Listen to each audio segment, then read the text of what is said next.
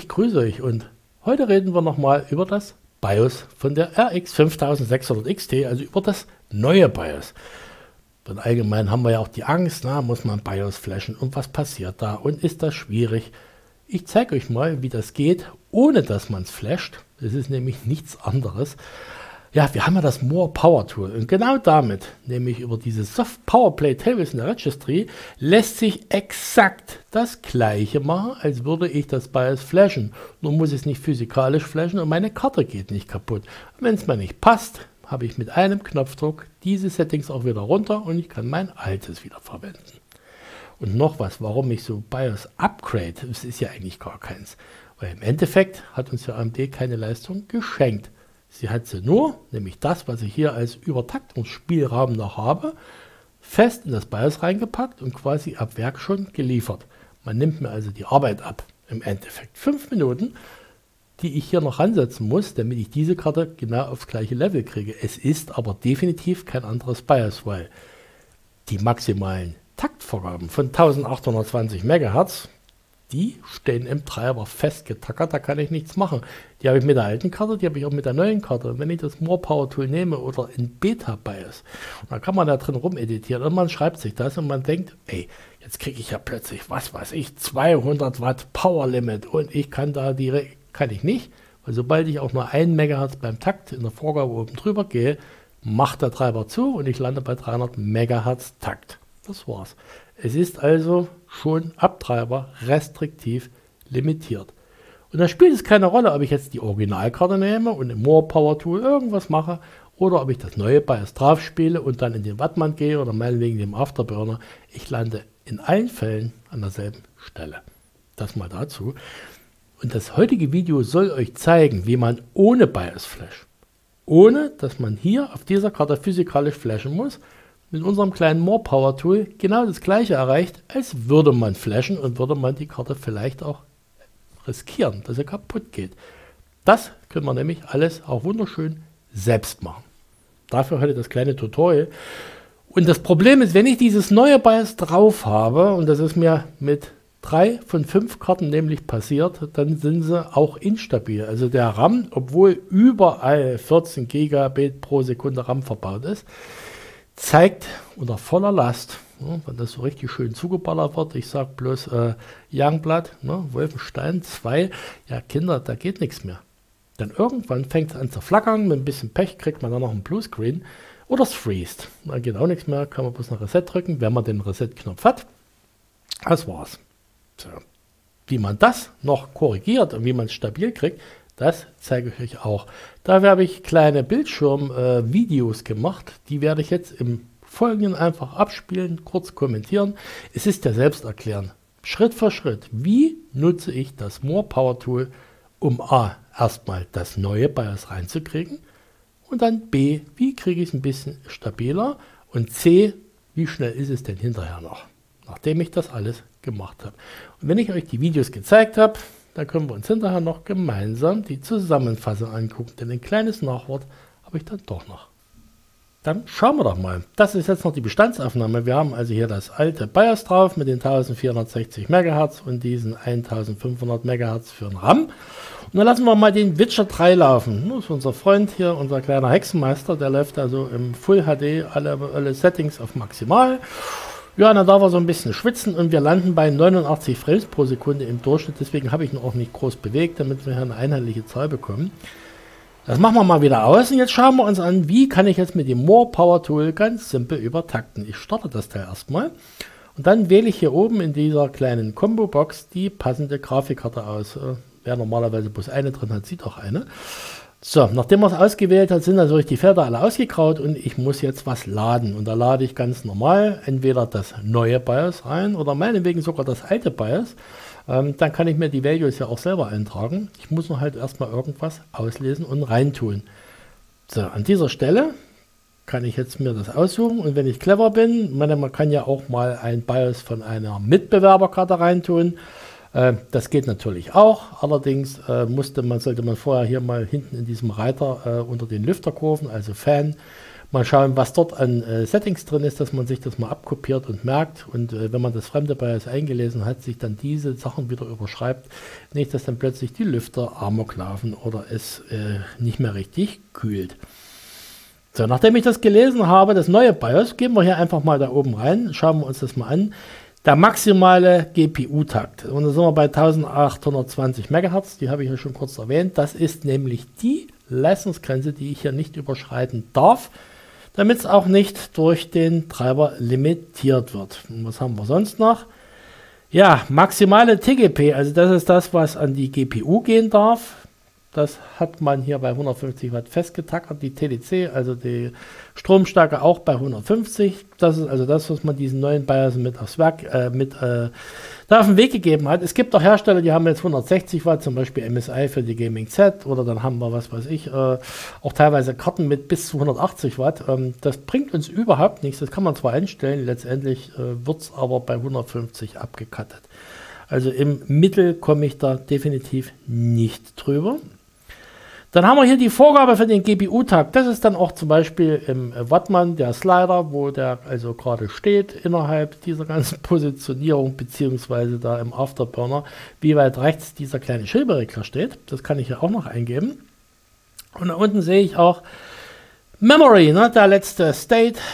DPM3, da gebe ich halt immer diese 875 MHz ein, es sei denn, äh, mein neues BIOS hat die schon mitgebracht. Dann lande ich auch bei den 14 Gigabit äh, pro Sekunde, also restriktive 1750 MHz Speichertakt. Das ist ja double rated. Das kann ich jetzt alles quasi abspeichern, indem ich es in die Soft Power Play Table reinschreibe. Das war's schon. Und äh, wer jetzt das neue BIOS nimmt, der muss diesen ganzen Mist sich gar nicht angucken. Der geht einfach rein, einlesen, äh, schreiben, da unten auf diesen Knopf drücken und kriegt hinterher die Bestätigung automatisch, dass das Ganze eingetragen wurde. Und dann kriegt man einfach auf OK. Und wenn man das OK gedrückt hat, drückt man danach einfach auf Exit. Wichtig ist an der Stelle unbedingt jetzt den Rechner neu zu starten. Also man hat das quasi abgespeichert, dann muss man den Rechner einmal neu booten, weil die Registry, auch diese ganzen Einträge, nur beim Systemstart ausgelesen werden. Also einmalig. Das heißt, nach dem Neubooten stehen uns diese Daten, die wir gerade geändert haben, zur Verfügung. Und das kann man ja mal validieren, indem man einfach GPU-Z aufmacht. Und wenn man GPU, äh, guckt mal rein, ja, also wir haben jetzt hier automatisch, ja, Wunderbar, schon das eingetragen, was das neue BIOS auch bietet, nämlich 1560 MHz, also diese 100 MHz mehr. Und wir haben 1750 MHz RAM-Takt. So, diese ominösen 14 Gigabit pro Sekunde. Das ist alles. Mehr macht dieses neue tolle BIOS nämlich auch nicht. Ich habe die auch mal binär verglichen. Also es sind wirklich bloß ein paar Änderungen drin, nämlich das genau, was wir hier gerade eben gemacht haben. Da schreibe ich in die Registry rein und dann muss ich mein BIOS gar nicht flashen, weil es eigentlich gar kein neues BIOS ist. Man hat nämlich hier wirklich bloß ein paar Vorgabewerte nach oben gesetzt. Mehr ist es nicht. So, wenn ich das jetzt alles hinter mir habe, kann ich natürlich auch mal gucken, was macht jetzt mein Freund der Witcher. Und der Witcher, der läuft, der steht immer noch an derselben Stelle. So, jetzt sind wir plötzlich bei bis zu 99 Frames pro Sekunde, so im Schnitt. Das sind schon mal ja, eine ganze Ecke mehr. Das sind nämlich über 11 Prozent, die ich hier an Performance gewinne. Natürlich diese 100 MHz mehr Takt oder mehr Basistakt. Die resultieren natürlich jetzt nicht nur äh, in diesen, äh, ich sage jetzt mal über 10 Frames pro Sekunde, sondern das ist natürlich auch noch der angehobene Speicher, der natürlich für ordentlich Durchsatz sorgt. Und wenn man sich das, kann man den Witcher natürlich auch wieder zumachen. Äh, wenn man sich das dann mal so eine Weile laufen lässt, und ich hatte erwähnt, das könnte durchaus instabil werden, hm, da müsste man mit dem Speicher ein bisschen runtergehen. Und wie gesagt, diese ganzen Karten, die hier diese Probleme hatten, wo es dann freeste bei Youngblood und ich hatte auch äh, extreme Probleme bei Lara Croft, die dann plötzlich da mittendrin in dem Benchmark kleben blieb und gar nicht mehr vorwärts gehen wollte und es wirklich freeste oder es hat geflackert wie die Hölle. Dann in diesem Moment nimmt man einfach, und das zeige ich euch hier im More Power Tool, mal ein bisschen RAM-Takt weg. Und dann reicht das eigentlich aus, wenn man es mal auf, ich sage jetzt mal 1700 setzt. Das wären also 850 MHz hier im Tool einstellen. Dann speichert man den ganzen Spaß natürlich wieder in diese Soft Powerplay Table ab. Muss man gar nicht irgendwie groß drüber nachdenken. Macht das Programm zu, startet natürlich, Achtung, Achtung, auch diesen Rechner an dieser Stelle wieder neu So, und jetzt gucken wir mal, was passiert. Nachdem wir neu gestartet haben, machen wir wieder unseren Freund den Witcher auf, lassen ihn wieder an derselben Stelle da stehen und einfrieren. Ähm, schauen wir mal, es ist so ein bis zwei Frames pro Sekunde weniger. Das machen diese 50 MHz weniger Takt. Kann man aber verschmerzen, weil dieser eine Frame pro Sekunde, der ist albern. Da merkt man nicht viel. Ähm, naja, das funktioniert noch. Und jetzt könnte man hingehen und sagen, okay, das ist jetzt alles stabil, weil der RAM läuft auch stabil, da kackt nichts mehr ab. Wir geben jetzt mal noch das restliche Overclocking-Potenzial da auf die Karte drauf. Das kriegen wir dann raus. Also ich kann jetzt 40 Megahertz mehr einstellen in unserem Freund, äh, dem äh, Afterburner. Dann kann ich natürlich auch das Power Limit noch ein bisschen nach oben ziehen. Das leider, der existiert ja mit diesen 20 Prozent. Wenn ich jetzt sage, ich gebe 30% rein in diesen Slider und will die einstellen, schmiert es genauso wieder ab und lande auf diesen 300 MHz, macht der Treiber dicht. Ja, und diese 20%, die man da einstellen kann, die bringen es auch nicht, weil ich komme über diese 150 Watt nicht drüber raus. Jetzt habe ich, damit sich ein bisschen stabilisiert, 10% drüber gegeben. Ja, da ist er zumindest in den Niederungen noch ein bisschen höher. Es gibt noch ein bisschen mehr Bums, aber eigentlich wirklich nicht viel. Unten die 40 MHz, naja gut, okay, äh, das ist jetzt nicht wirklich viel. Dann übernimmt man das und dann habe ich natürlich den Witcher nochmal laufen lassen. Und dann landen wir, hopp, hopp, hopp, ha, 100. Das sind zwei Frames pro Sekunde mehr. Toll, ne? Also ich habe hier äh, Power Limit versucht zu erhöhen. Ich habe da 40 MHz mehr Takt drauf geworfen und im Schnitt äh, will der Hund dann doch nicht schneller marschieren es wird nicht mehr. Also ich kann mit der Karte eigentlich machen, was ich will. Ich kann sie ausbringen, pressen, prügeln. Geht nichts mehr. Also diese Karte mit dem neuen BIOS ist so, ja, fürs Overclocking nicht wirklich geeignet. Und ihr müsst ja noch nicht mal flashen. Also wer wirklich Angst vorm Flash hat, Kinder, lasst es.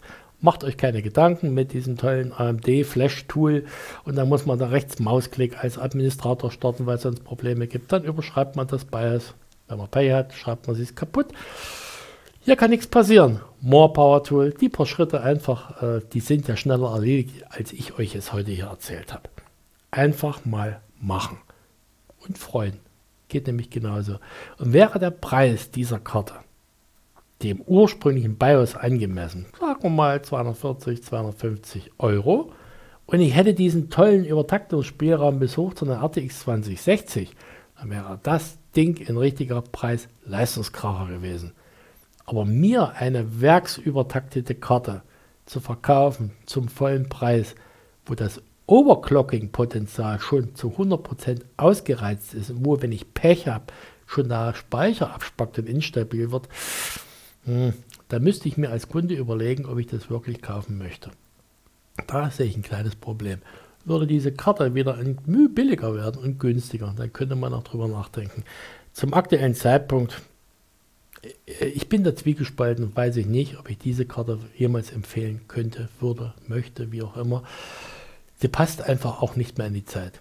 Diese 6 GB sind relativ wenig. Es könnte reichen für Full HD. Das Problem ist nur, für Full HD mit 299 Euro sind wir vollkommen in der falschen Liga. In dem Sinne, denkt mal drüber nach, ob es sich wirklich lohnt. Bleibt mir gewogen, wer will, kann natürlich ein Abo dalassen und ich habe diese Anleitung nochmal unter diesem Artikel verlinkt in Deutsch und in Englisch. Für unsere englischsprachigen Freunde auch zum Nachlesen. Ist eine kleine Bilderstory drin. Könnt ihr euch angucken. Habt ihr alles nochmal schwarz auf weiß. In dem Sinne, schönes Wochenende. Tschüss.